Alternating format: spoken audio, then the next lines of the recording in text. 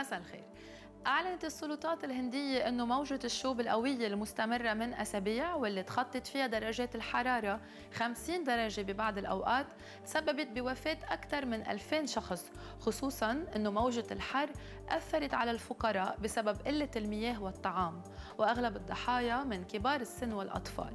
وكل سنة بالصيفية بتتكرر هالمأساة بالهند ووزعت السلطات المعنية منشورات واستخدمت وسائل الإعلام لتوعية المواطنين لشرب شرب كميات كبيرة من المياه إذا توفرت قبل الخروج من منازلهم وذلك للحفاظ على حياتهم.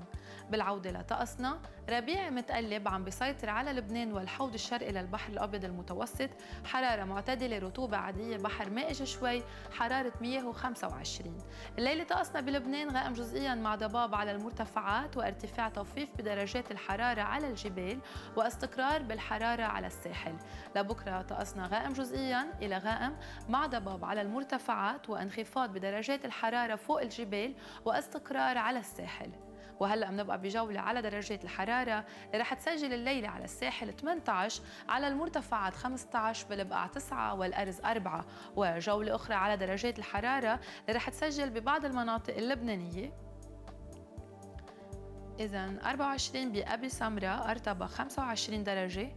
ننتقل من بعدها إلى بعبدة 26 العيشية 24 جوية 26 درجة كفر شوبة 24 والروم ورومية 25 أما عرسيل ف 28 والرطوبة عم تتراوح بين 45 و 85% حرارة سطح الماء 24 درجة. وسرعة الرياح بين 10 و 35 كم بالساعة. رياح عم بتكون جنوبية غربية. أما كيف رح يكون الطقس الليلة واليومين اللي جايين؟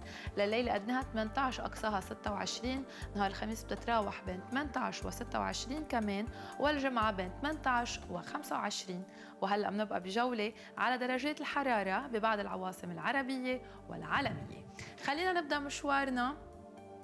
من عمان 30 دمشق 31 والقدس 29 ومننتقل إلى الرباط 31 والجزائر 30 ومننهي مشوارنا بباريس 27 وهيدا كان كل شي.